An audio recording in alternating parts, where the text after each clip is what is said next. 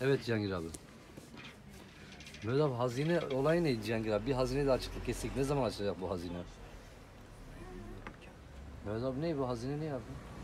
Aa vallahi ben bilmiyorum. Hazine açılır mı Mehmet abi yani? Ne? Vallahi bilmiyorum ben bilmiyorum ben. Yani hazine Şey ne? kendi konuşuyor. Ahmet kendi konuşuyor ben ne Şey, bileyim ne ya. demek yani hazine? Sen Kardeşim ne bileyim bak kendi konuşuyor diye. Cihangir abi hazine ne oluyor abi? Biraz açıklık Ah getirir misin bize? Ah Cengiz ah. Biraz açıklık getirir misin bize abi? Yana var ya kendi kendini yakalatıyor.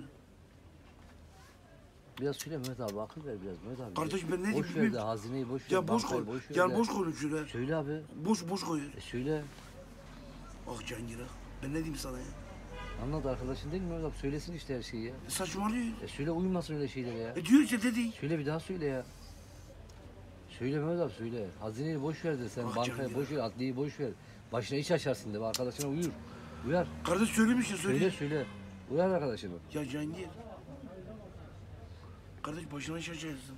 Abi ben başıma iş açmam. Konu farklı konu. Böyle değil yani anlıyor musun? Biz haberdar ediyoruz, biz haber veriyoruz diye haber vermediğin ömür boyu haberi olmuyor.